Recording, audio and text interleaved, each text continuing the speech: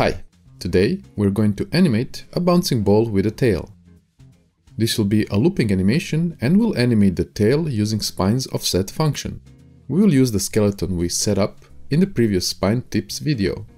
Let's start by making a new animation and give it a name. We will use the layered animation technique, meaning we will animate one part of the character from start to finish. Then repeat the process for the other parts. We start by setting up the keys for the ball, which drives the action.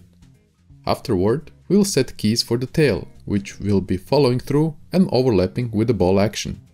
Move the ball bone up. Next, hold Ctrl and click the top bone. Then key translate for both bones. This will be our first pose.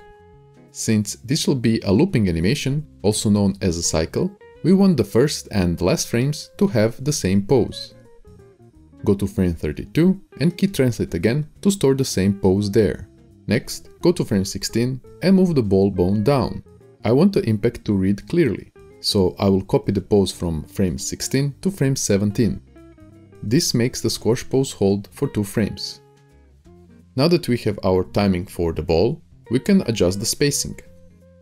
Select the ball bone, select all the keys and change the curve type to Bezier. Select the keys at frame 16 and 17 and click the Bounce preset button. Let's adjust the Bezier handles. Drag the top ones so we get more hang time. You can hold shift to be sure you don't change the angle of the handle.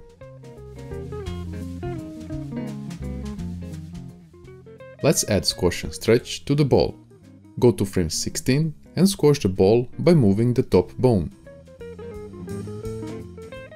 On frame 17, stretch the ball a bit, so we don't have exactly the same pose on two frames. Adjust the translate Y in the graph view.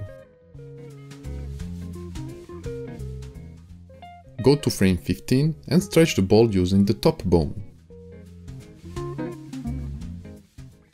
Hold Ctrl Shift and drag the key on frame 0 to copy it to frame 8.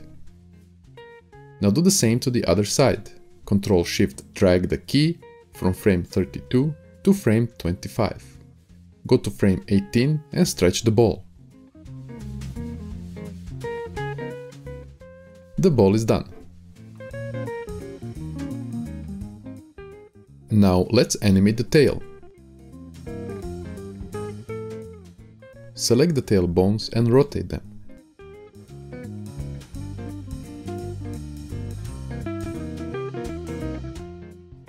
Copy the keys to frame 32. Go to frame 16 and rotate the tail in the opposite direction. Select all the keys and change the curve type to Bezier. Turn on Offset and drag the keys for bones tail 2, tail 3 and tail 4. By offsetting the rotation of each bone by 4 frames from the parent bone, we get overlapping action for the tail and more realistic movement. The tail is done. If you want to know more about animating tails and similar objects with follow-through and overlapping action, check our wave principle video in the description.